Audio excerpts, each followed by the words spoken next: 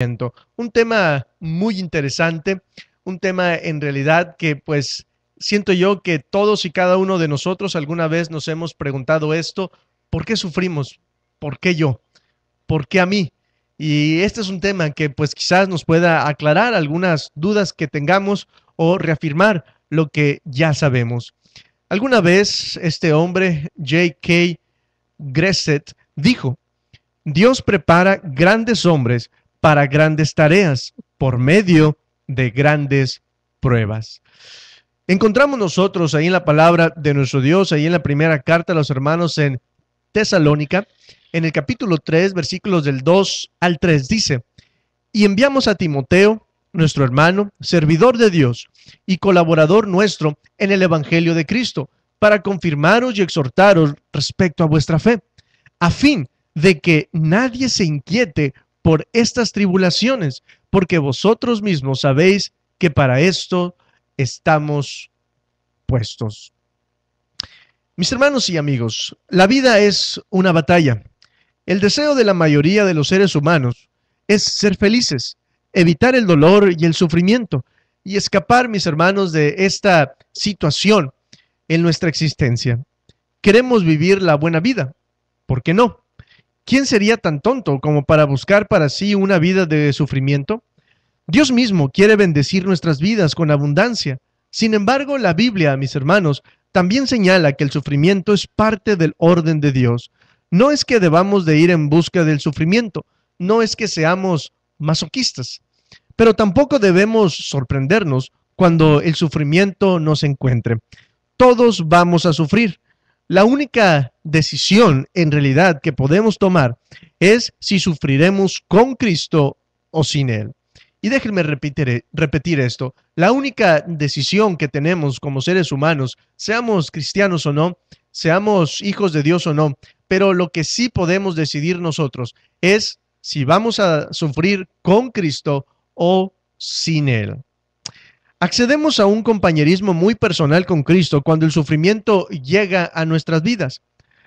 La palabra de nuestro Dios, ahí en la primera carta del apóstol Pedro, en el capítulo 4 y en los versículos del 12 al 13, nos dice, Amados, no os sorprendáis del fuego de prueba que os ha sobrevenido, como si alguna cosa extraña os aconteciese, sino gozaos dice, por cuanto sois participantes de los padecimientos de Cristo, para que también en la revelación de su gloria os gocéis con gran alegría.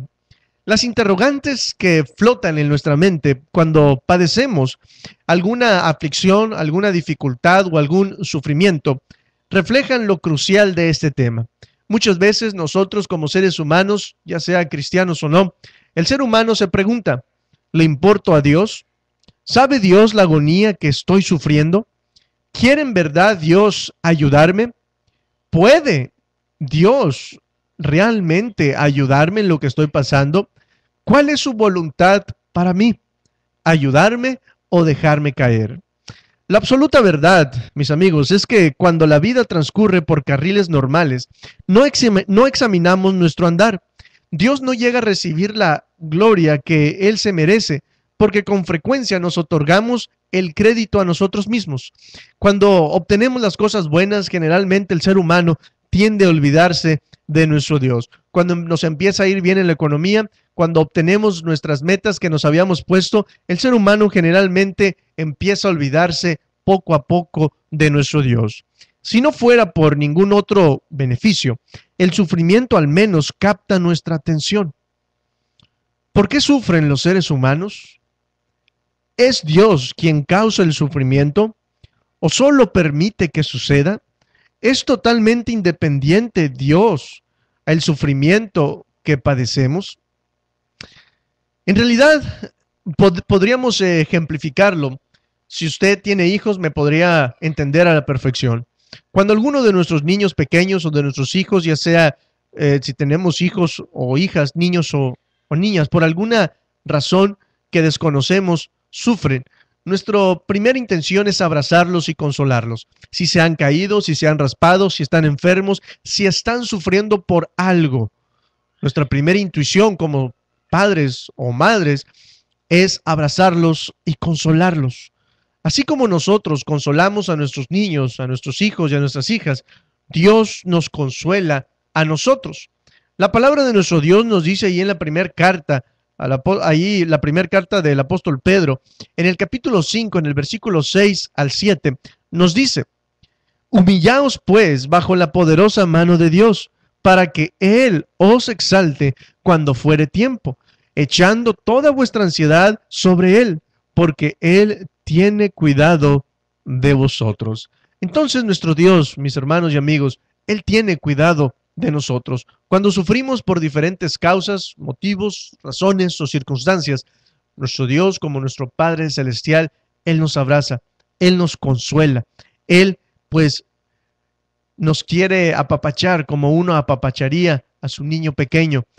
Aunque tenga 15, 20, 30 años, nuestros hijos siempre van a ser nuestros niños pequeños. Y así como nosotros los vemos a ellos, Dios nos mira a nosotros de esta forma. Siempre seremos sus hijos.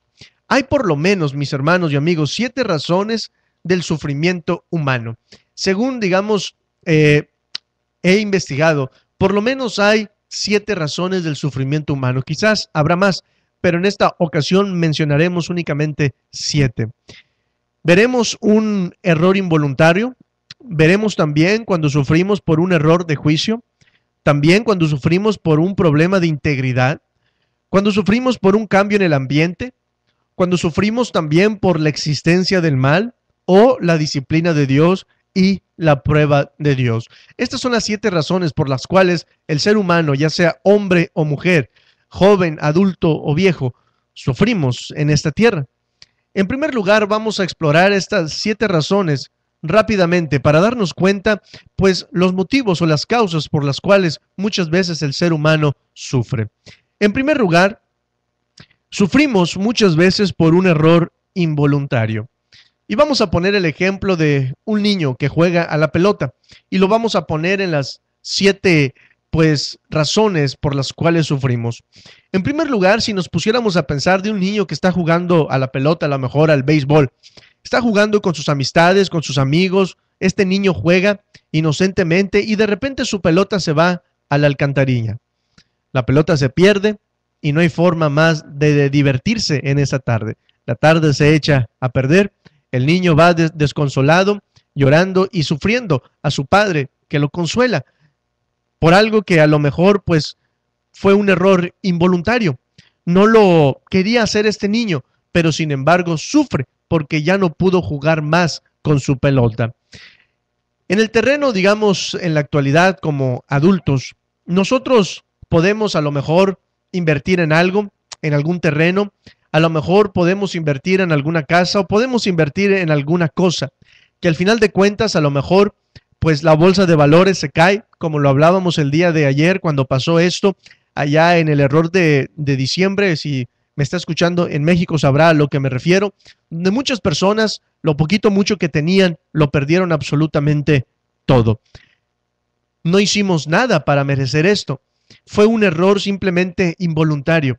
Las cosas pasaron, la bolsa de valores se cayó y simplemente pues sufrimos a causa de esto.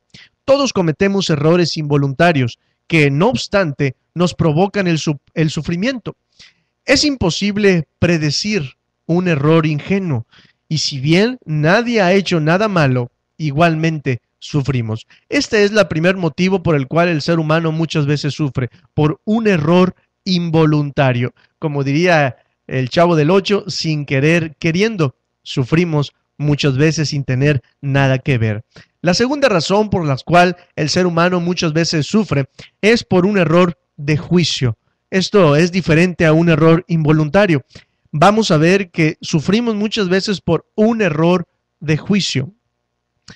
A lo mejor este mismo niño estaba jugando a la pelota, al béisbol, cuando de repente la pelota fue dirigida pues sin querer, pero fue dirigida hacia la ventana del vecino o de la vecina. Ahora este niño se encuentra avergonzado y tiene que pagar esa ventana pues con el domingo que le dan cada semana a sus padres. Él no lo quería hacer, pero quizás hizo un error de juicio. Debería de mejor haber estado jugando en el parque en vez de jugar en la calle al béisbol. Este error de juicio también se nos puede presentar en nuestra vida diaria como seres humanos ya en la vida adulta.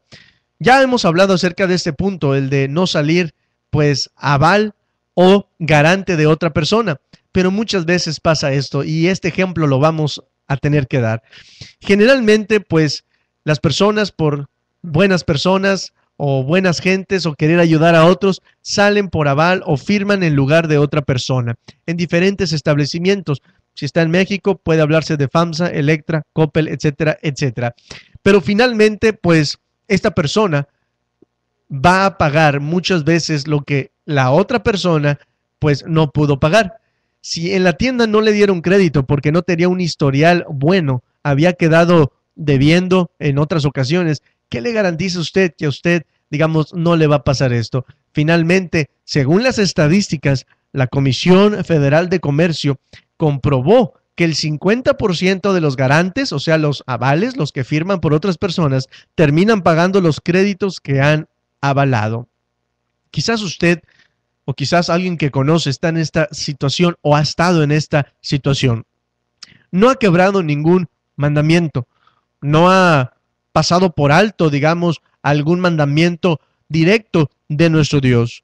Pero lo que sí ha pasado por alto es el consejo escritural que nos dice que no debemos de hacer esto. Allí en Proverbios nos dice esto, no lo vamos a repetir porque ya lo hemos hablado acerca de esto, de no salir a Val. ¿Por qué? Porque uno va a cargar con esa consecuencia. No hemos cometido, digamos, ningún pecado, pero sí hemos cometido un error de juicio. Hicimos un juicio incorrecto y sufrimos las consecuencias. Un error de juicio, mis hermanos, como lo comentábamos, difiere de un error inocente en lo siguiente. Hay principios que, de aplicarse, pueden evitar un error de juicio. En tanto, no hay pautas que nos prevengan de un error inconsciente. Involuntario o no, el error se ha cometido y provoca sufrimiento. Todos cometemos errores de juicio de vez en cuando y pagamos las consecuencias. La tercera causa o motivo o razón por las cuales sufre el ser humano es un problema de integridad. Ya no es un error involuntario, no es un error de juicio, digamos, no pecaminoso, sino que ya es un problema de integridad. A lo mejor, si ponemos el mismo ejemplo de este niño que estaba jugando al béisbol, en este caso, este niño pues quiso robarse la pelota de un compañero de él. El compañero se dio cuenta y le propinó una paliza. El niño va con su ojo morado a la casa, llorando desconsolado por la, por la acción que hizo. Esto fue un problema de integridad, un error de integridad, y él tiene que pagar las consecuencias porque hizo algo malo. En nuestros días, si ponemos un ejemplo a los adultos, podemos poner un ejemplo que puede ser el siguiente. Un vendedor miente sobre el producto y como, como consecuencia lo han despedido.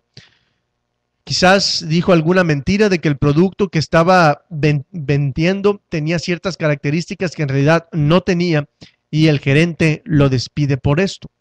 Muchas veces cometemos este tipo de errores, de este tipo de acciones incorrectas de integridad. No somos íntegros y tenemos que pagar las consecuencias. Hay, a veces, mis hermanos, hay quienes cometen errores con malicia o sea, pecan y deben pagar las consecuencias morales y de otra índole a causa de sus actos. Las personas deshonestas generalmente van a ser descubiertas tarde que temprano. Todos, mis hermanos, debemos también que someternos a las leyes de nuestro Dios. La cuarta razón por las cuales el ser humano muchas veces sufre es por un cambio en el ambiente. Podemos poner el ejemplo de este niño, seguir poniendo este ejemplo para ejemplificarlo en los siete casos. El niño puede haber estado jugando al béisbol y de repente llega un policía y le dice que por ordenanza ahora se prohíbe el jugar en la calle a la pelota, ya sea al béisbol, al fútbol, al fútbol americano, etcétera, etcétera. Él no hizo absolutamente nada malo, simplemente el ambiente cambió. ¿Cómo se traduce esto a nuestra vida? Bueno, un accidente de tráfico puede dejar inválido a uno de nuestros hijos, Dios guarde la hora. Puede causar la muerte de un ser querido, alguna enfermedad en una persona que amamos, como el cáncer o alguna enfermedad digamos, tan dolorosa de esta índole. No hemos hecho nada para merecer esto, no hemos tenido un problema de integridad, no hemos cometido un error de juicio, simplemente el ambiente cambió. Y cuando cambia el ambiente, muchas veces sufrimos, el ser humano sufre. Así que mis hermanos, esta es la cuarta razón. La quinta razón es la existencia del mal, simple y sencillamente porque el mal existe. A lo mejor, si seguimos con esta orden de ideas de este niño que jugaba a la pelota, simplemente el niño estaba jugando felizmente cuando de repente viene alguien mayor que él, bullying generalmente, le quita la pelota, lo golpea y, se, y le roba la pelota.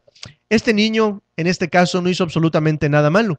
No tuvo un problema de, de integridad, no cometió un error involuntario, no, digamos, eh, cambió el ambiente, no pasó nada fuera, digamos que él no podría, por así decirlo, controlar a cierta medida simplemente por la existencia del mal. Alguien más le robó la pelota y no solamente se lo robó, sino lo golpeó.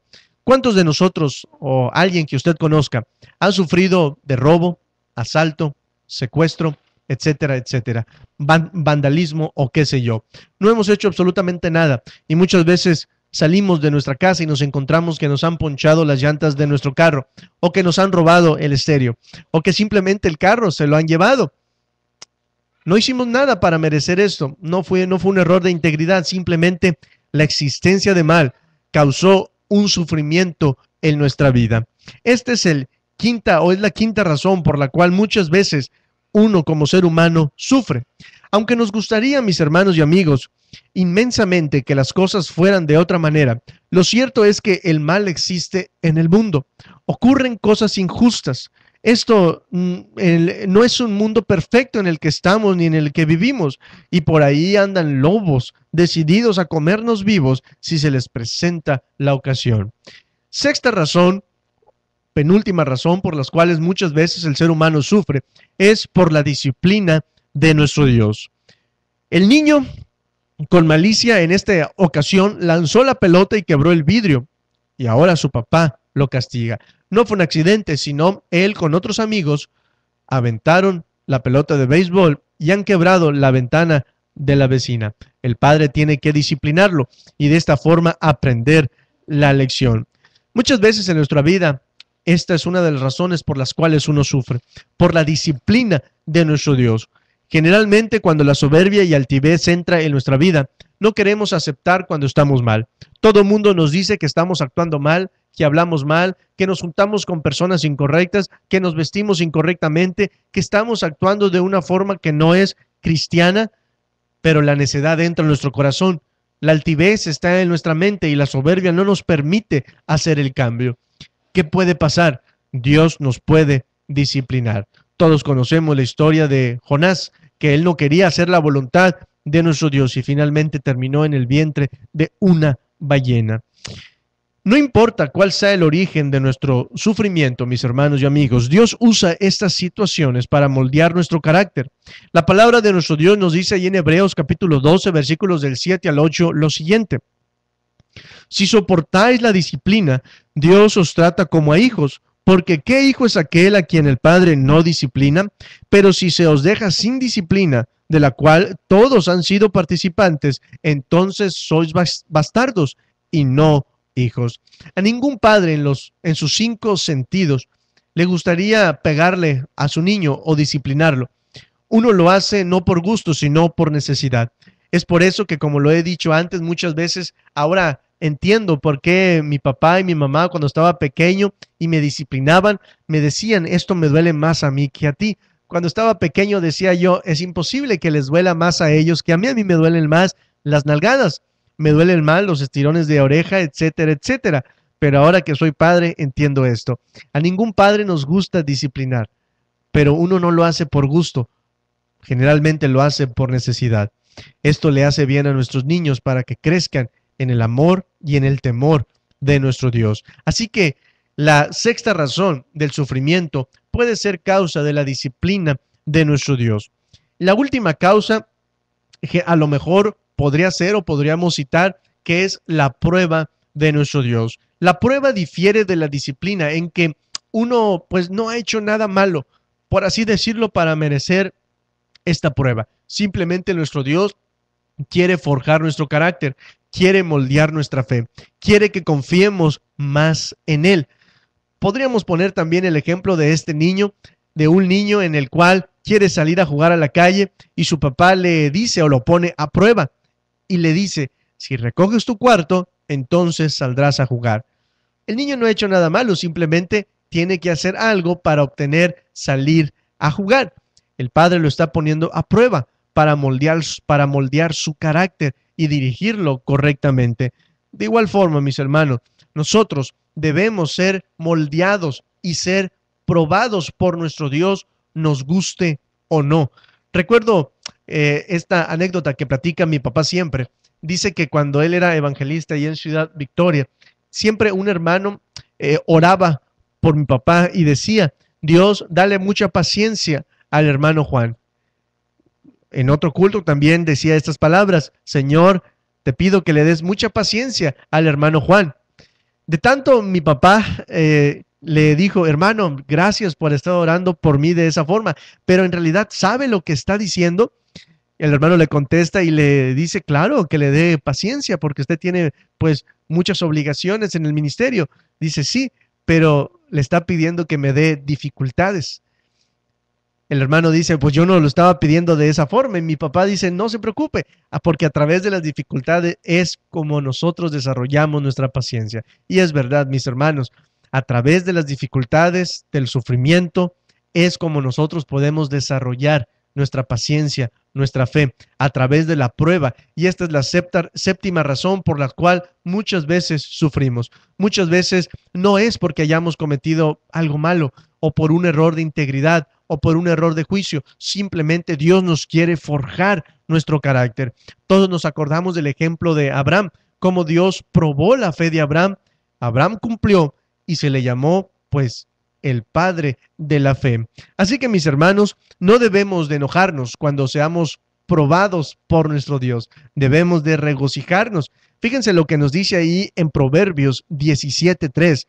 Dice, el crisol para la plata y la hornaza para el oro, pero Jehová prueba los corazones. Se nos dice que así como el oro se prueba en la hornaza, el oro, la única forma en la que se prueba no es aventándolo al suelo a, ver si suena muy bonito, no es mordiéndolo, sino por el fuego. Es como se prueba el oro. ¿Y cómo se prueba nuestra fe? Pues a través del sufrimiento. Así que la próxima vez de que suframos, meditemos si es por causa de unas de una de estas siete razones que acabamos de ver a continuación. Sigamos con el tema. Si está llegando, mis hermanos y mi amigo, a la conclusión de que no es fácil desprendernos del sufrimiento, está en lo correcto. Sufrimos por nuestra propia culpa o por la de otro, por los errores inconscientes o como consecuencia de nuestros pecados. A veces Dios nos prueba y otras Dios nos disciplina. En algunas ocasiones el entorno se modifica y en otras el mal que existe en el mundo nos alcanza.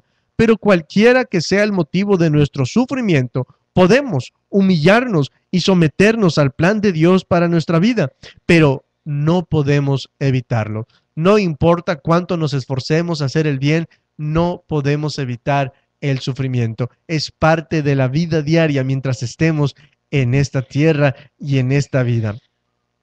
Con frecuencia, mis hermanos, antes de humillarnos cuando estamos sufriendo, pasamos por diversas etapas de resistencia o rebelión, por así decirlo, en un intento por evitar el dolor.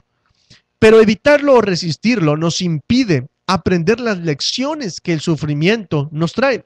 El sufrimiento no nos puede enseñar nada a menos que aceptemos a vivir la angustia. Como dijo alguna vez Anne Moreau, dijo, no creo que el mero sufrimiento enseñe algo por sí mismo.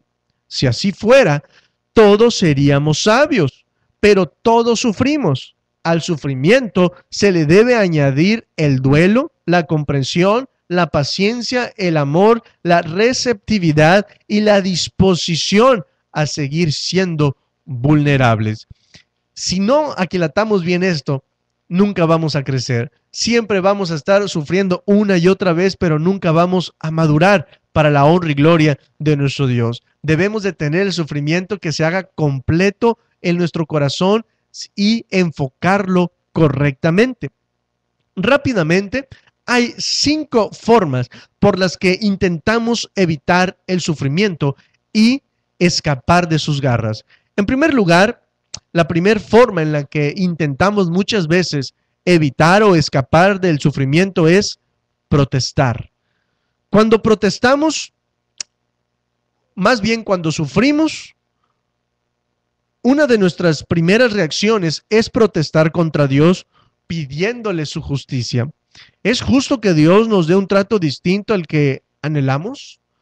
Nuestro debate con Él a menudo refleja que consideramos injusta su actitud. Pensamos que es injusto cómo Dios nos está tratando.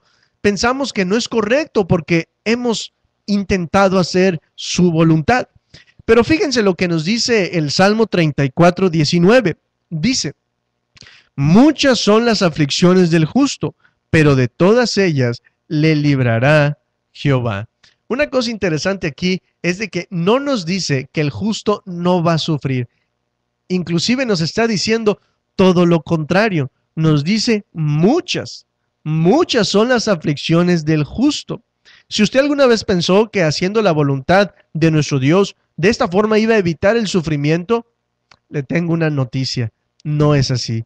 Ahora, la ventaja que cuando hacemos la voluntad de nuestro Dios y aún así viene el, el sufrimiento, podemos estar seguros que quizás sea por prueba y no sea por castigo. Esta pequeña diferencia hace una abismal diferencia en nuestra actitud hacia el sufrimiento. Porque cuando nosotros sufrimos por nuestras propias acciones incorrectas, por ejemplo, el que toma y choca y mata a algún inocente, no puede decir Dios me está probando al estar aquí en la cárcel. Por supuesto que no, porque fue una acción, fue, fue una reacción a una acción incorrecta. Pero cuando uno sufre y uno examina su vida y se da cuenta de que en realidad es una prueba de nuestro Dios, debemos de sufrir con gozo este sufrimiento y no debemos de protestar. La segunda forma en la cual uno intenta escaparse del sufrimiento es cuando empezamos a compararnos. Cuando nos comparamos con aquella persona que en realidad sí es mala. Cuando decimos en nuestros corazones, Señor, pero ¿por qué sufro yo si yo trato de hacer tu voluntad? Pero mira, aquella persona, aquel hermano, aquel vecino, el familiar, etcétera, etcétera, él en realidad debería de estar sufriendo. Ella en realidad debería de estar sufriendo y no yo, Señor. O muchas veces nos comparamos y no queremos sufrir como otras personas, en el, en el sentido de que queremos siempre eh, sentirnos como otras personas se sienten sin sufrimiento, sin dolor, y siempre queremos estar como ellas. Pero en realidad, mis hermanos, no debemos de compararnos, ni para bien ni para mal la comparación no debe de estar en nuestro vocabulario cuando vengan los sufrimientos.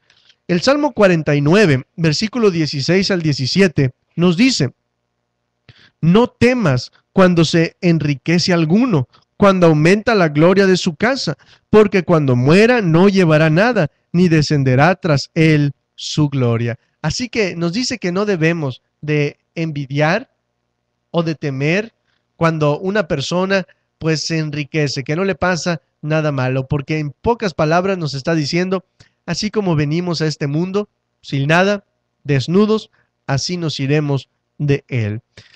La, tercera forma en la cual uno eh, quiere evitar el sufrimiento es cuando ponemos mala cara. Nos desalentamos por las circunstancias y nos compadecemos a nosotros mismos. Nos quejamos del sufrimiento que soportamos y sentimos muchas veces lástima por nosotros. Nos lamentamos como el salmista. Allí en el Salmo 73, versículo 12 al 14 dice, He aquí, estos impíos, sin ser turbados del mundo, alcanzaron riquezas. Verdaderamente en vano he limpiado mi corazón y lavado mis manos en inocencia pues he sido azotado todo el día y castigado todas las mañanas. Si alguna vez usted ha dicho esto, no se sienta mal. También este salmista dijo exactamente lo mismo. Si muchas veces nosotros pensamos, ¿cómo es posible que mi vecino, que es a lo mejor eh, una persona que defrauda, que vende cosas en el mercado negro, le vaya mejor que a mí. No es posible. ¿Cómo es posible? En vano he sido cristiano. ¿Para qué voy a la iglesia entonces? ¿Para qué me porto bien? ¿Para qué le hago caso a mi esposo? ¿Para qué amo a mi esposa? A lo mejor si usted es joven, como eh, eh, joven podría pensar, ¿para qué voy a la iglesia? ¿Para qué hago los mandamientos de nuestro Dios? Y como quiera, no siento que Dios me bendiga ni en la escuela, ni en el trabajo, ni en la calle, ni en ninguna parte. Así que no me siento que Dios me esté bendiciendo, todo lo contrario, siento que bendice más a aquellos que venden a lo mejor droga, que hacen cosas incorrectas, pero ¿qué es lo que pasa? ¿Qué es lo que sucede? Esto nos va a hacer mal. No estamos sufriendo correctamente. Queremos evitarlo cuando ponemos mala cara, cuando sentimos autoconmiseración, cuando decimos, ¿por qué a mí? ¿Por qué nadie me quiere? ¿Por qué nadie, digamos, se interesa en mi vida? Ni siquiera Dios se interesa. No debemos de pensar así. No se sienta mal si lo ha pensado, porque somos humanos como el salmista que lo escribió, pero debemos de cambiar nuestra actitud cuando nos encontremos pensando o diciendo estas palabras. La cuarta forma en la cual reaccionamos muchas veces cuando viene el sufrimiento es que gritamos. Nos enojamos, sacudimos los puños y levantamos la voz contra Dios. ¿Acaso no va a darnos ningún alivio, podemos pensar? Pero esta queja, mis hermanos, es vana, porque Santiago nos dice, ahí en el capítulo 1 y en el versículo 20, nos dice lo siguiente, Santiago 1.20, porque la ira del hombre no obra la justicia de Dios. Así que cuando suframos, aunque nuestro primer instinto sea enojarnos, gritar, hablar en contra de nuestro Dios, el decir, ¿por qué a mí? Debemos de controlarnos, porque la ira del hombre no obra la justicia de Dios. La quinta forma en la, que, en la cual muchas veces tratamos de evitar el sufrimiento es cuando empezamos a dudar. Cuando el sufrimiento se prolonga y advertimos la devastadora que puede llegar a ser la angustia, dudamos de que Dios sea real y nos asustamos.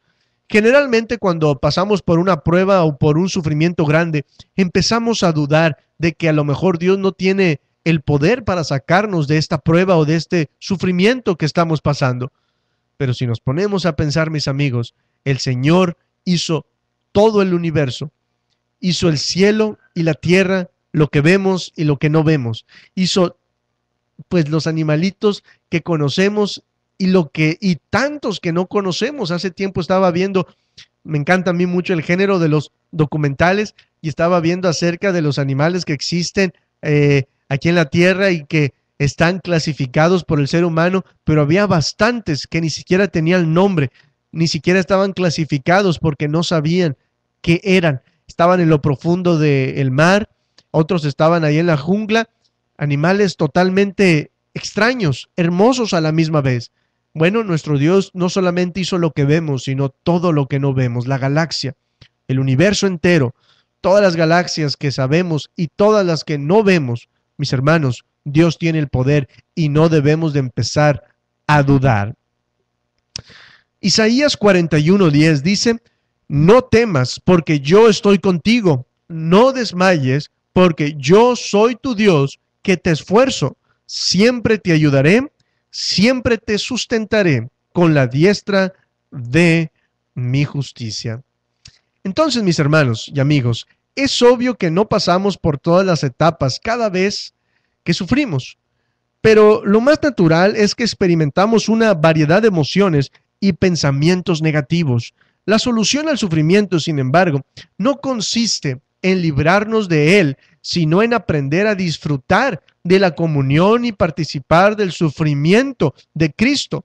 No decaer, mis amigos, en tiempos de dificultad, no mostrarnos ansiosos por nada, resistid con paciencia y andar en el poder del Espíritu Santo. A veces Dios nos librará conforme a nuestros deseos, pero quizás en otras ocasiones nuestro Dios tenga otros planes para nosotros. Lo que debemos de hacer, de acuerdo a sus planes, es depositar toda nuestra ansiedad en Él, tal como lo dice el Salmo 40, 11 al 13. Jehová, no retengas de mí tus misericordias, Tu misericordia y tu verdad me guarden para siempre, porque me han rodeado males sin número, me han alcanzado mis maldades y no puedo levantar la vista. Se han aumentado más que los cabellos de mi cabeza y mi corazón me falla. Quieras, oh Jehová, líbrame. Jehová, apresúrate a socorrerme. Este salmo, mis hermanos, es el que debiéramos decir cuando nos encontremos en sufrimientos y en angustias. Dice, quieras, oh Jehová, librarme, Jehová, apresúrate a socorrerme. El salmista, si le habían presentado tantas dificultades que aún lo expresa de una forma poética, cuando dice que me han alcanzado mis maldades y no puedo levantar la vista, dice, se han aumentado más que los cabellos de mi cabeza. ¿Alguna vez hemos pasado en nuestra vida por situaciones en las cuales pensamos que vamos de mal en peor? Pasa alguna dificultad, un sufrimiento, y luego pasa otro sufrimiento, y luego una dificultad económica, y luego una dificultad de enfermedad, y luego algún choque, y luego tantas diversas pruebas o sufrimientos. No se sienta solo, no es el único. Los hombres de Dios también pasaron por estas dificultades, pero debemos de exclamar como lo hizo el salmista, quieras, oh Jehová, líbrame. Jehová, apresúrate a socorrerme. Amén. Mis hermanos, cuando sufrimos, podemos estar seguros de que Jesús sabe exactamente lo que estamos padeciendo y experimentando. Hebreos 4 del 15 al 16 dice, porque no tenemos un sumo sacerdote que no pueda compadecerse de nuestras debilidades, sino uno que fue tentado en todo según nuestra semejanza, pero sin pecado. Acerquémonos pues confiadamente al trono de la gracia para alcanzar misericordia y hallar gracia para el oportuno socorro. Así que mis hermanos, Jesucristo también sufrió. Jesucristo nos dice que fue tentado en todo según nuestra semejanza. Él sintió tristeza, dolor. Él sintió, mis hermanos, mucha angustia cuando hablábamos acerca eh, de cuando Jesucristo estaba allí en el Getsemaní, cuando estaba, mis hermanos, a punto de ser entregado por el traidor. Dice que brotaron de él grandes gotas de sangre. Estaba en una angustia tremenda, mis hermanos. Nunca sintió miedo. Cuando hablábamos acerca de este tema del miedo, él nunca sintió miedo, pero sí sintió una angustia extrema. Fue la mayor tentación que él pudo pasar. Bueno, él sabe por qué está pasando, mis hermanos. Él sabe exactamente cuando ha perdido un ser que ama. Él sabe cuando nuestros amigos nos traicionan, él sabe las dificultades, mis hermanos, cuando sentimos un dolor físico. Él fue crucificado en la cruz del Calvario.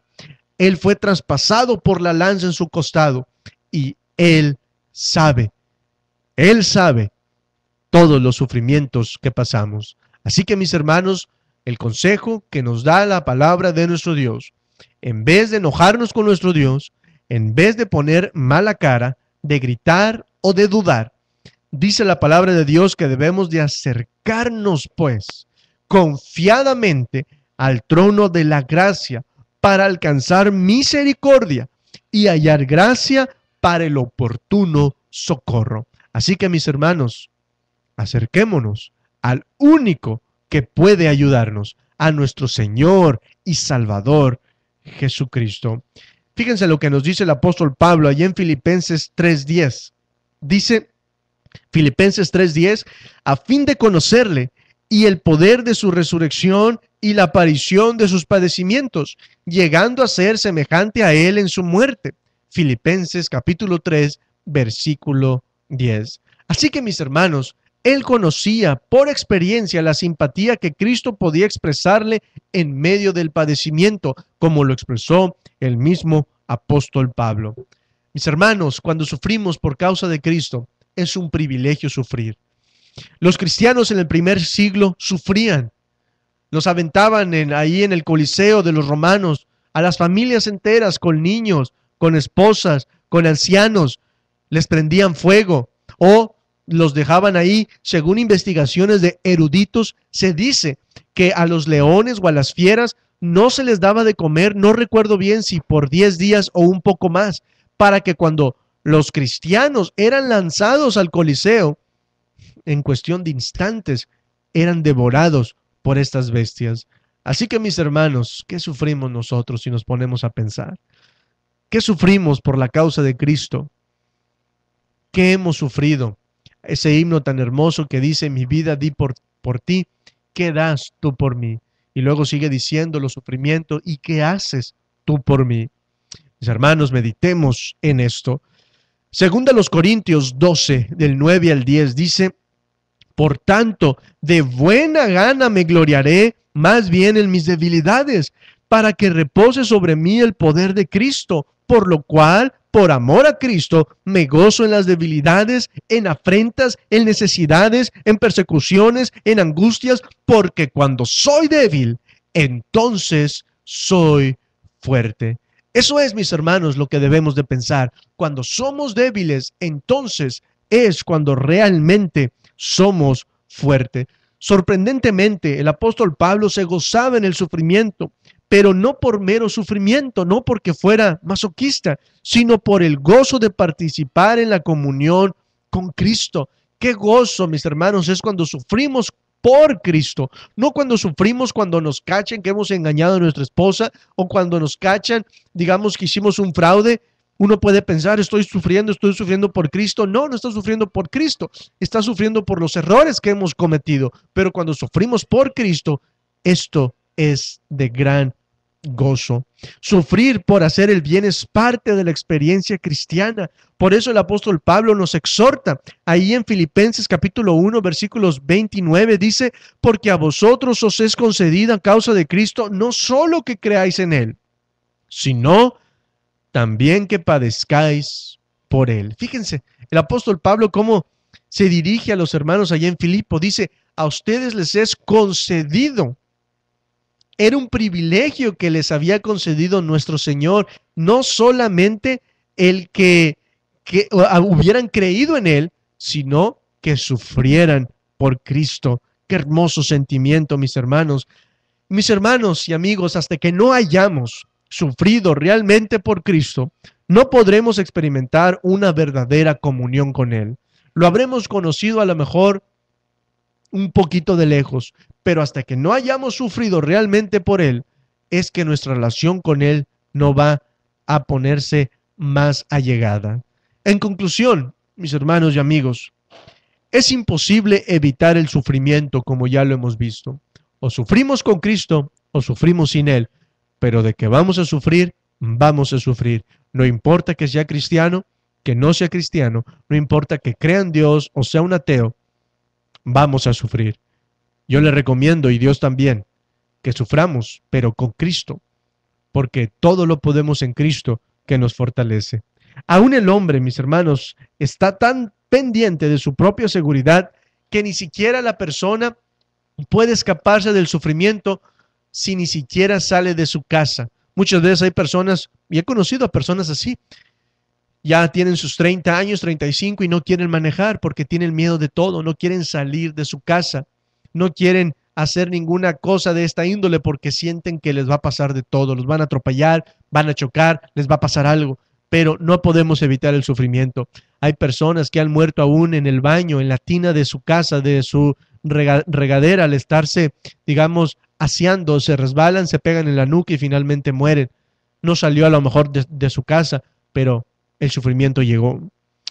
Nosotros lo que deberíamos de hacer es aceptarlo, aceptar el sufrimiento para la honra y gloria de Dios. Santiago capítulo 1, versículo 2 y 4 nos dice esto, dice, Hermanos míos, tened por sumo gozo cuando os halléis en diversas pruebas, sabiendo que la prueba de vuestra fe produce paciencia, mas tenga la paciencia su obra completa para que, para que seáis perfectos y cabales, sin que os falte cosa alguna. Santiago 1, del 2 al 4, mis hermanos. Primera de Pedro 5:10, mas el Dios de toda gracia que nos llamó a su gloria eterna en Jesucristo, después que hayáis padecido un poco de tiempo, Él mismo os perfeccione, afirme, fortalezca y establezca. Así que, ¿qué es lo que tiene que pasar antes de que esto pase? tenemos que haber padecido un poco de tiempo para que nos perfeccione, nos afirme, nos fortalezca y nos establezca.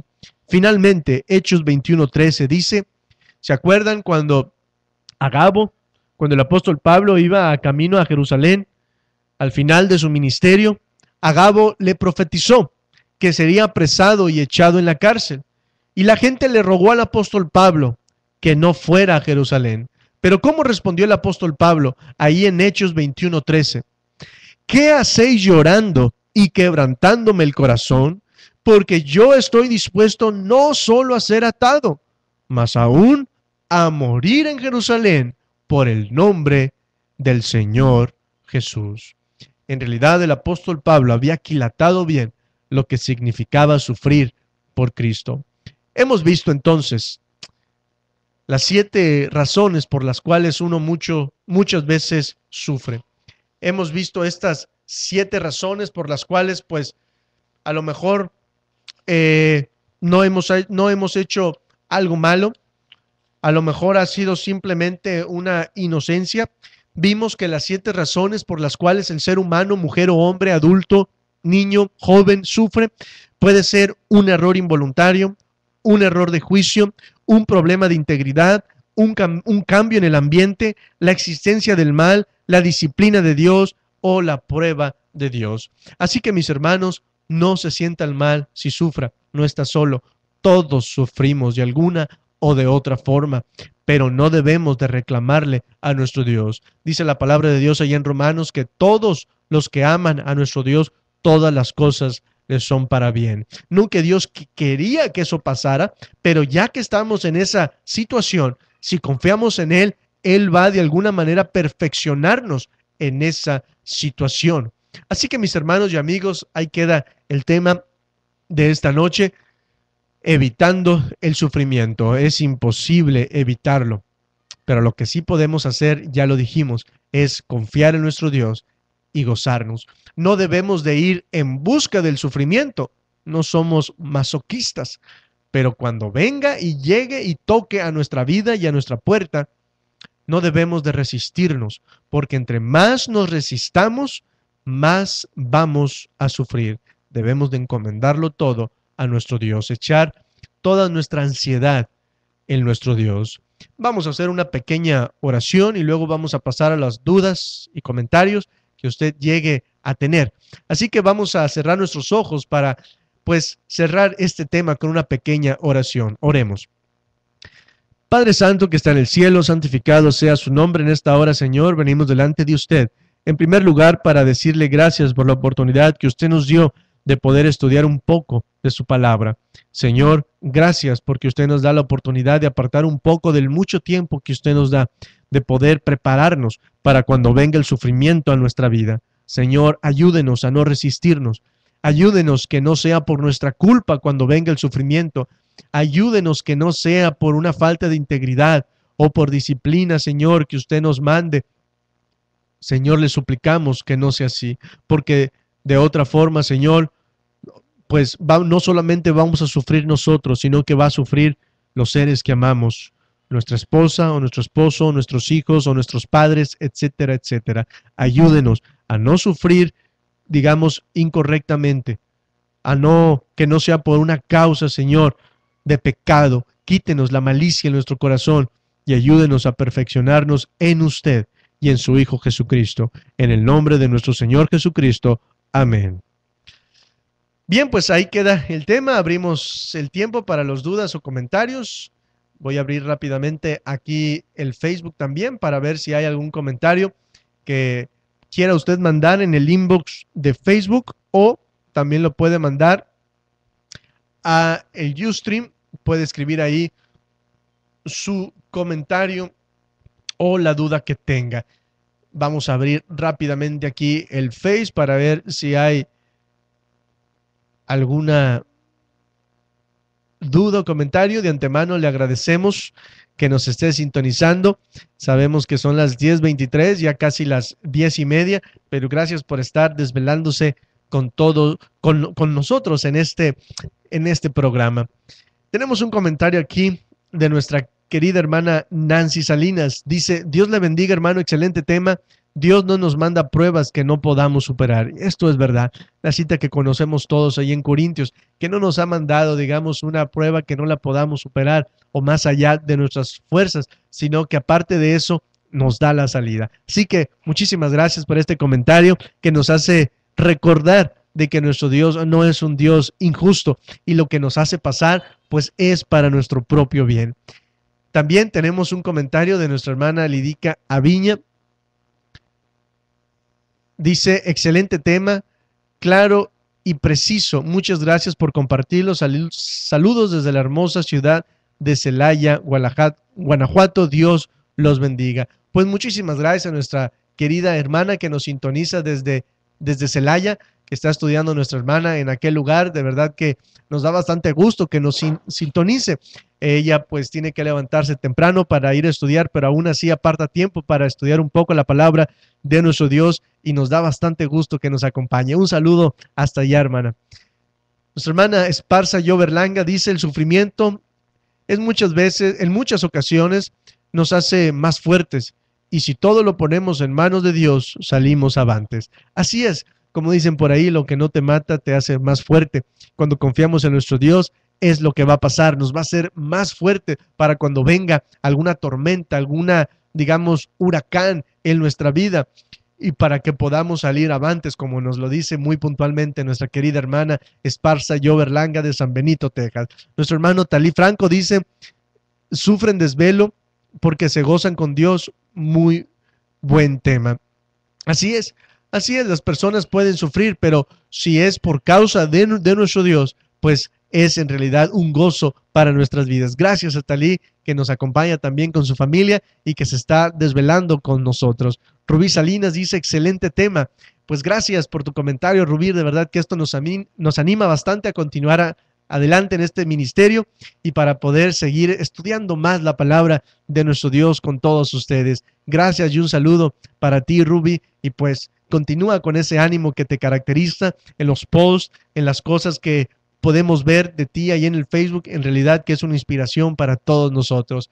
Nuestro hermano eh, Raimundo Reyes también nos da una cita en 2 Corintios 4, 16 al 18. Nos pone una cita aquí, rápidamente vamos a intentar buscarla aquí en la Biblia electrónica para poder darle lectura.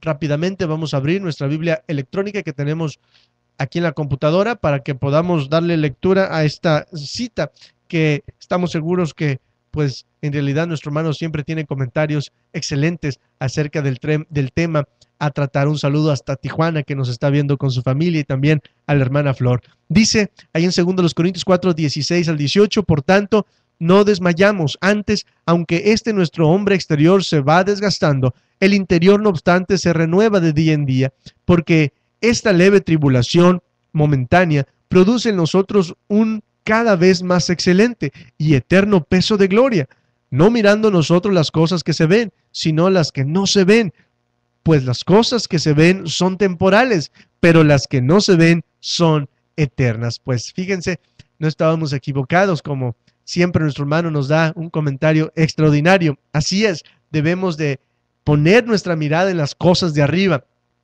tener nuestro guardadito o digamos hacer el tesoro, pero también hacerlo allá en el cielo con las buenas obras, con las buenas actitudes, teniendo nuestra mirada en aquella ciudad en la que tarde o temprano, si Dios lo quiere y nosotros somos fieles hasta la muerte, vamos a heredar. Así que muchísimas gracias a nuestro hermano por esta excelente cita que nos ha puesto. También dice, gracias hermano Juan III, excelente estudio para nunca dudar de nuestro Dios. Él tiene control de nuestras vidas. Así es, no dudemos de que nuestro Dios tenga control de nuestras vidas. Cuando viene, cuando viene el sufrimiento, muchas veces entra la duda, pero debemos de quitarla del medio, ya que Él tiene control a pesar de la tormenta. nuestros queridos hermanos eh, que nos sintonizan desde Puebla. Dice ahí en Romanos 8:28 nos dan esta cita, dice, y sabemos que los que aman a Dios todas las cosas les ayudan a bien, esto es, a los que conforme a su voluntad hacen la, voluntad de nuestro Dios. Así que muchísimas gracias por este excelente texto. Es un texto en realidad que nos anima a todos. En lo particular, pues a lo mejor los que me conocen ya lo saben, a los que no, bueno, lo van a, conocer a continuación, pero mis padres cuando yo estaba chico, estaba en sexto grado, se separaron, se divorciaron y pues es un trauma que cuando uno está chico, uno está pequeño, es muy difícil de superar. Es algo que yo no elegí, que mis papás se divorciaran, se separaran cuando nos ponen a que escojamos con quién te quieres ir, cuando la jueza o el juez dice te quieres ir con tu papá o, con tu mamá, pues uno quiere irse con los dos, uno no quiere irse ni con uno ni con otro, quiere estar con los, con los dos, pero son cosas de que uno está, sinceramente, situaciones que están fuera de nuestro alcance. Por mucho tiempo, pues yo pasé por estas etapas, eh, dudé cuando estaba pequeño, preguntaba a Dios por qué me pasó esto a mí, por qué no soy con mis otros amigos o compañeros de la iglesia que yo miro que tienen a sus dos papás. Nunca voy a poder ver a mis papás de viejos juntos, nunca, nunca voy a tener una casa en la cual llego y los dos abuelitos para mis hijas estén ahí, siempre es ir a ver a uno y luego ir a ver a otro y tantas dificultades que les podría contar yo eh, que acarrea un divorcio. Pero a través del tiempo esta cita me ha ayudado mucho. La cita que nos ha puesto nuestros hermanos Liz y su, eh, no recuerdo ahorita, checo cómo se llamaba, Liz y, y, y, Marco, Liz y Marco, que nos sintonizan desde Puebla, esta cita de Romanos 8.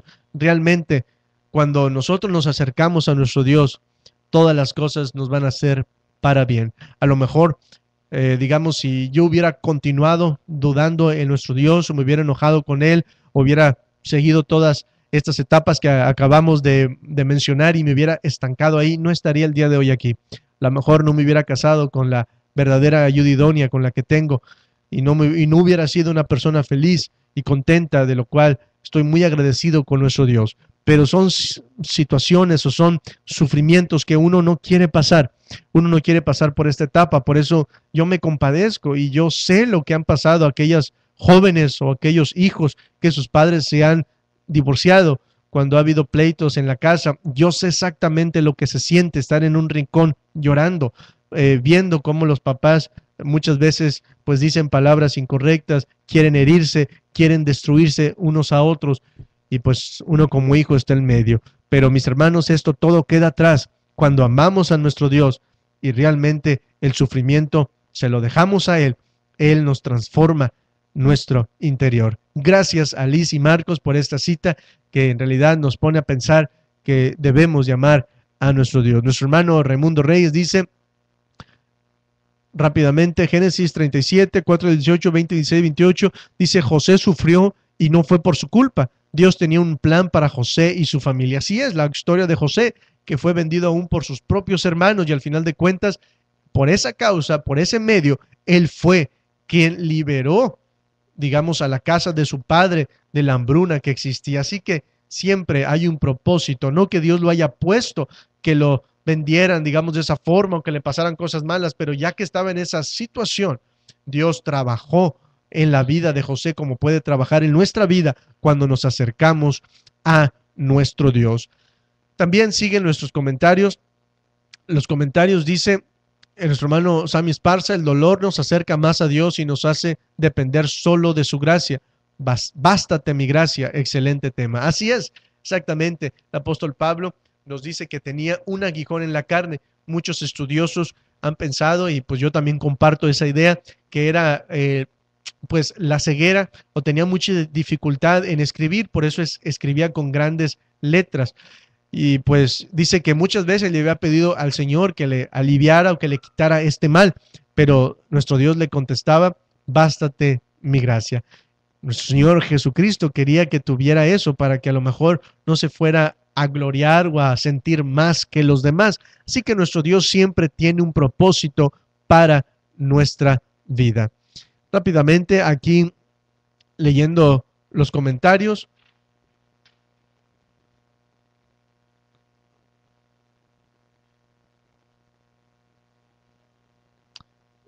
rápidamente antes de que se me pase alguno. Mau, Maura Aviña de San Francisco de Rincón, Guanajuato, dice, y entonces los que estamos en Cristo más bien seremos transformados por el sufrimiento. Dice, muy completo el tema y de gran bendición.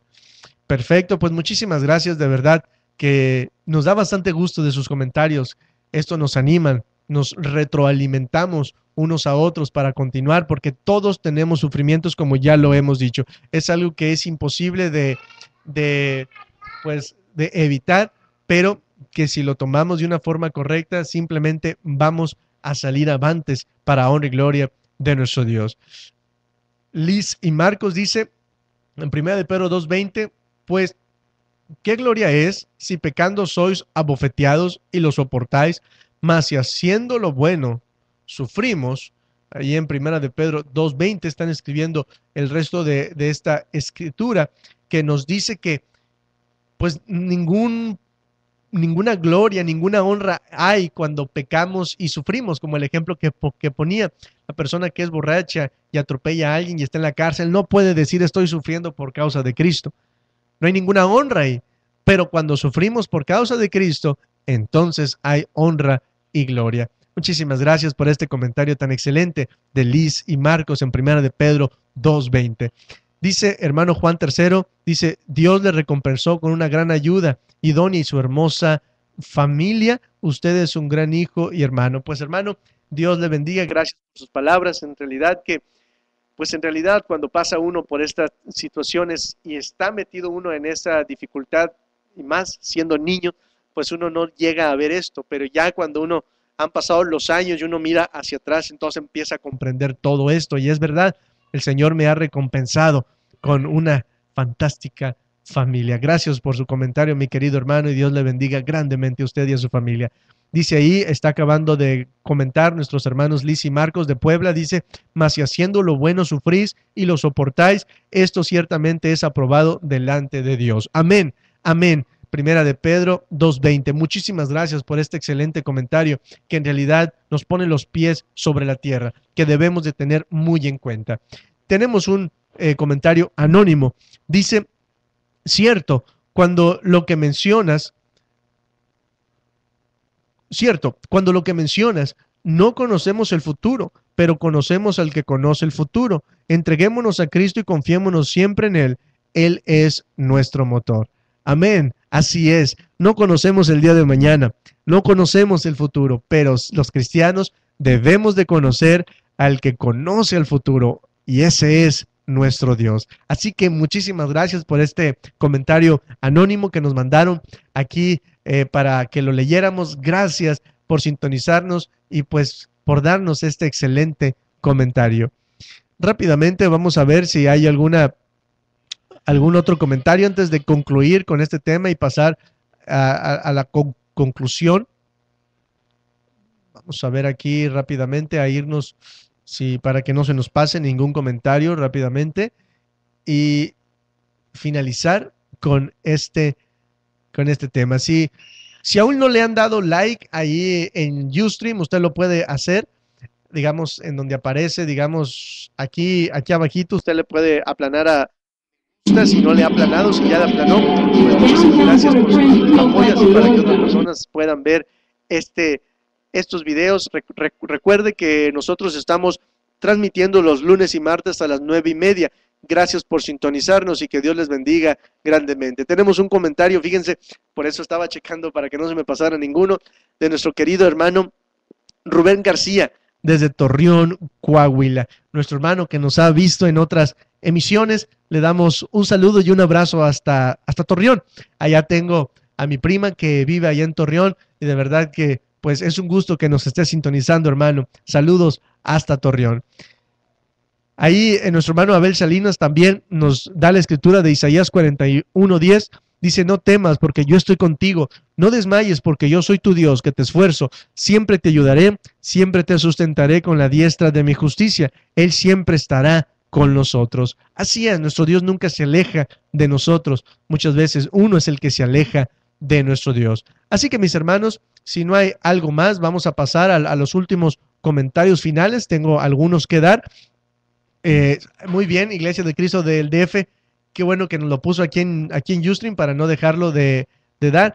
Eh, Abigail Gómez dice, así como Job, nosotros debemos sufrir. Muy buen tema, saludos. Pues muy, muchas gracias por tu comentario, Avi. Saludos hasta, hasta Saltillo, a tu papá, a tu mamá, a, a Dan, y gracias por sintonizarnos. Ya saben que los amamos en el Señor. Bien, el comentario que quería decirles antes de cerrar con la transmisión, en realidad era una petición. Eh, me acabo de enterar el día de hoy que nuestro hermano Sami, o bueno, Samuel Esparza Franco, o Sami como lo conocemos, pues nuestro hermano desgraciadamente sufrió pues un percance, un accidente el día sábado por la mañana.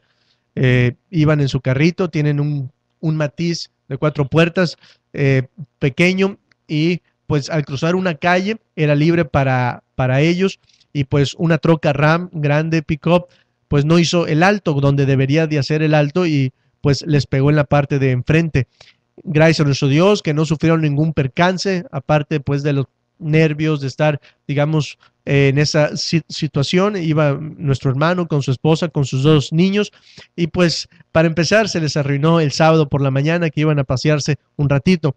Y en realidad, pues, eh, nos platicó, o me platicaba nuestro hermano de que pues al estar en ese accidente en el cual pues vamos a estar en oración para que todo salga bien, gracias a Dios, ellos están bien, están con salud, no les pasó absolutamente nada malo a ellos, pero pues sí su carrito sí sí sufrió pues daños, digamos, usted se puede imaginar que de un matiz al golpear en la parte de enfrente de la fascia, pues arruinó completamente el radiador, digamos, y pues no puede funcionar de esta forma, le quitó la fascia, está golpeado el carro. Y pues usted sabe, eh, se le complicó mucho al tratar de hacer el arreglo con la persona, era una pues una ama de casa, esta persona le habló a su esposo, el esposo empezó eh, a insultar por teléfono a nuestro hermano Sammy, no le querían pagar, no le querían arreglar. Y pues nuestro hermano Sammy de buena voluntad pues no quiso pues que eh, pues que ella eh, la, la, metieran al tránsito o, hasta que pagara, ya que no tenía licencia ella y pues muy justamente la podían haber eh, pues retenido ahí hasta que pagara todo, pero nuestro hermano no, no quiso hacer esto. Vaya, al final y en cuentas pues no se le recompensó, no se le dio lo que en realidad va a costar eh, lo que pasó, lo que le pasó a él ahí en su carro. Y yo sinceramente pensando en esto, eh, nuestro hermano, pues él de por sí, él no le gusta estas cosas de pedir, de estar, digamos, en alguna situación difícil económica, pues es muy difícil para uno cuando le pasa el pedir. Pero yo les quisiera eh, abrir esta oportunidad a usted que nos escucha y que conocemos a nuestro hermano. Él se encuentra, pues, eh, batallando, pensando cómo le va a hacer en esto. No le ha comentado a nadie y pues no, a lo mejor no me lo dijo, pero no quería que lo dijera a nadie, pero en realidad yo lo aprecio mucho y yo sé que muchos de ustedes también lo aprecian. Y yo quisiera hacer algo a continuación. Eh, quisiera poner la cuenta de nuestro hermano. Eh, si nos escucha en México, voy a poner la cuenta de nuestro hermano de Scotiabank y también la cuenta de Wells Fargo, por si acaso nos está escuchando acá en, en, Estados Unidos y con lo que podamos ayudar. El monto a juntar para que más o menos quedara el carrito otra vez funcionando más o menos bien son alrededor de algunos tres mil pesos. Yo sé que a lo mejor eh, puede hablar con la iglesia para que la iglesia le puedan ayudar o hacerlo de diferentes formas, pero yo quiero darle la oportunidad a usted que nos está viendo de que usted pueda pues ayudarle con algo. Es libre, es voluntario totalmente esto digamos, lo que de buen corazón tenga usted, usted lo puede donar a, la cuenta que voy a dar a continuación de Scotiabank en México, la estoy poniendo allí en Ustream. Si usted puede dar algo, 50, 100 pesos, el monto a juntar son 3 mil pesos. Él no me dijo esto, que era el monto a juntar, pero según por lo que me dijo y por los gastos que tiene, está muy gastado nuestro hermano. Ellos pensaban hacer un viaje eh, así en familia para visitar a los padres de nuestra hermana Yesenia, que es su esposa, y con esto pues eh, me ha platicado que pues se ha arruinado este, este viaje. Y en lo particular, yo pienso que si tenemos la oportunidad de hacer el bien, 100 pesos, 200 pesos, 500 pesos, lo que sea de su voluntad, lo puede hacer. Es un hermano que apreciamos, que yo lo aprecio en lo particular. Él nos ha enseñado acerca de la palabra de nuestro Dios y si usted tiene la buena voluntad de hacerlo, lo puede hacer individualmente. Qué bonito que si usted como joven, quizás que nos está escuchando y tiene un trabajito, usted le pueda donar algo. Si lo conoce, usted sabe de su capacidad. Si no lo conoce, quizás, pues a lo mejor no lo conozca en cómo predica él, pero él es evangelista, él ha trabajado mucho por la obra del de, Señor y no es algo, repito, que él me haya pedido que hiciera, pero yo lo hago porque siento que es algo muy justo que podemos hacer si tenemos esta facilidad de hacerlo. La cuenta está aquí en Ustream, Bank y la cuenta la puse a nombre de Samuel Esparza Franco. Usted puede preguntar a qué nombre está la cuenta cuando vaya a hacer su depósito para que así se verifique que sí sea él y pues no se lo vaya a depositar a otra persona. Eh, hoy cuando fui a depositarle algo, eh, me aseguré de que fuera el hermano, les pregunté, eh, ¿y a qué, bajo qué nombre está? Y me dijeron, pues está bajo Samuel Esperanza. Le dije yo, a ver, chéquelo bien. Ah, no, Esparza. Así que pues dije yo en la torre, le tengo que platicar a Sammy y lo tengo que decir en vivo, que nuestro hermano ahora se llama Samuel Esperanza Franco. No, no, se equivocó la, persona, pero lo que sí me refiero es de que pues eh, verifique que sea la persona si usted tiene la buena voluntad de apoyarlo con algo para que pues eh, apoyándonos es como podemos salir adelante todos. Eh, nuestro hermano es un hermano, como lo platicaba el día de ayer, él se desvive por los hermanos. Muchas veces hay una actividad, alguna serie y completa de la ofrenda y de su propia bolsa, él lo pone. Y claro, yo sé que mi hermano eh, me va a regañar después del tema, que por qué ando diciendo estas cosas, pero es algo que yo siento que es lo justo. Y la palabra de nuestro Dios nos dice, no, no pondrás bozar pues al buey que trilla o al asno que está trabajando ahí. Entonces, si usted tiene la buena voluntad, ayudemos a nuestro hermano para que de esa forma pues no se le frustre este viaje que, quería hacer, para que tenga su viaje, digamos, su carrito bien, en buenas condiciones. Eh, sabemos cómo eh, son las personas. Eh, me platicaba nuestro hermano que llegó hasta la amenaza, digamos que llegó ahí de que el esposo de la señora lo estaba amenazando y todo. Así que nuestro hermano no le quiso mm, dar más, digamos, o presionar de alguna forma. Tenía todas de la ley, nuestro hermano, porque la señora no traía licencia, se había pasado el alto, el tránsito estaba esperando para que nuestro hermano simplemente dijera, llévensela hasta que pague todo, pero él no lo hizo así. Así que es algo que yo en lo personal admiro mucho. Yo admiro mucho y pues ahí está, si usted lo quiere hacer, es bienvenido a hacerlo. Yo lo invito a que lo haga.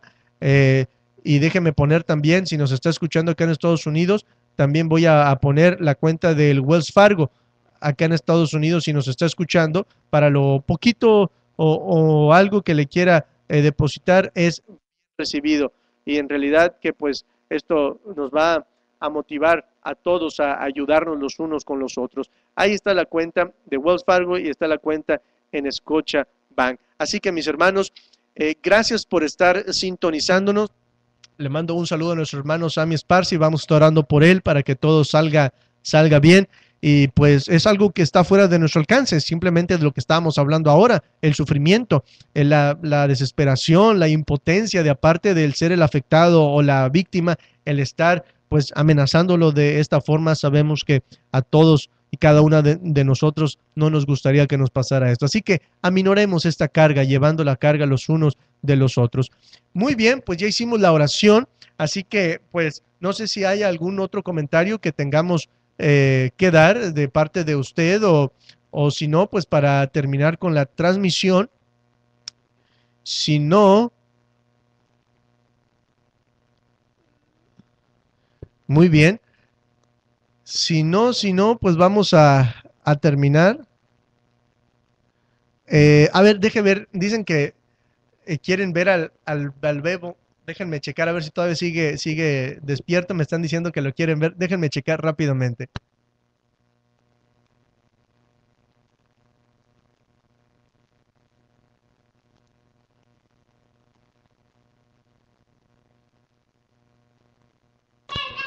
Sí, a ver. Vamos a ver, aquí están. A ver, ¿quieren salir en la cámara? Véntele para acá. ¿Salir? A ver, pero ¿quieres cantar? Sí. ¿Cuál, cuál quieres cantar? Vamos a cantar la de Aleluya, Sí. ¿ok? A ver, a ver. El Señor resucitó, aleluya. Aleluya. Muerte ya venció, Aleluya. aleluya. Aleluya. Aleluya, aleluya, aleluya, aleluya, aleluya, aleluya. Muy bien, pues, a ver, dile, hermanos, Dios ya, les bendiga a todos. Saludos Saludos a mi tío Sammy, y tío Sammy. a Samito Samita. y mándale besos. Mua. I love you. Allá y Bendiciones. y acciones. Muy bien, bueno, a ver al Bebo, vamos a ver al Bebo que quiere salir, lo quieren ver al... al Leita, ya cantaste ayer, mi amor. Ah, vamos a ver, a ver. Ah, mi amor, ahí no, ahí no, ahí no. A ver, a ver, Leita, diles, hermanos, Ana, los quiero ada, mucho. ada, Saludos ada, a todos. ada, Adiós. Ada. Muy bien, habla el bebé. ¿Ok? Venga, el bebé. Vamos a ver. Muy bien, pues aquí está el bebote, el Juan Cuarto, aquí les manda saludos a todos ustedes y no sé si va a empezar a destruir toda la producción, pero aquí está saliendo en vivo y a todo color. No se pudo dormir el día de hoy, fue muy difícil, pero pero nos acompañó toda la transmisión. Así que les manda un saludo a todos los hermanos. Dios les, Dios les bendiga ricamente. Saludos a todos y adiós. Dios les bendiga a todos mis hermanos. Hasta pronto y recordemos los próximos programas del hermano Sami Esparza el jueves a las 8 en busca de la verdad, el viernes restaurando juventud a las 8 y el sábado a las 8 también, ¿quién lo dice? El domingo a las 8 también eh, pregonando a Cristo. Dios les bendiga y adiós. Saludos.